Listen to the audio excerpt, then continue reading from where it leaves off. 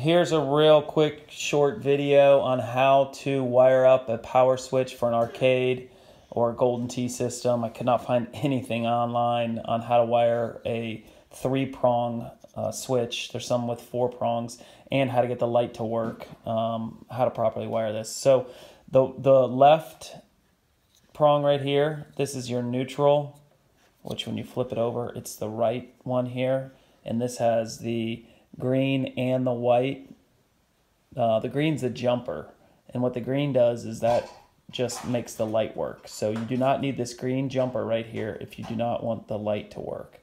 Um, and then the next one is the is the ground, which is this green one coming from the power. That'll be obviously the bottom middle one. And then the hot, which is black, um, goes in the middle. And then you will also need another jumper, which is this white one here.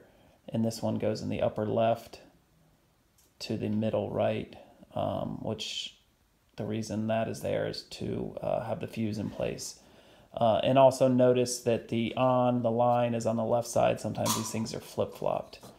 So hopefully this is clear. You can maybe pause this video somewhere and get a, get a good screenshot of how everything is wired.